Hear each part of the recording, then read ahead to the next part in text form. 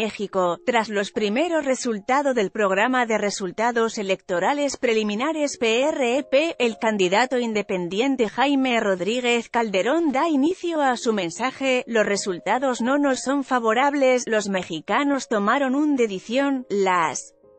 tendencias favorecen a Andrés Manuel López Obrador, a quien damos una felicitación, señaló el Bronco asimismo señaló que retomará la gubernatura de Nuevo León, estado que colaborará con el próximo presidente de México.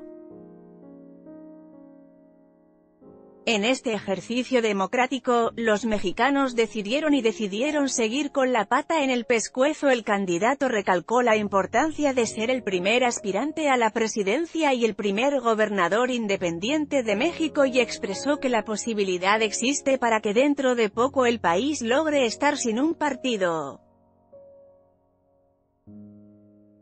Foto, Facebook Rodríguez Calderón agradeció a su esposa y a todo el equipo que lo apoyó a lo largo de la jornada electoral y puntualizó que hay que apoyarlo a AMLO a que saque adelante al país. En esta nota, Elecciones 2018 Elecciones México El Bronco AMLO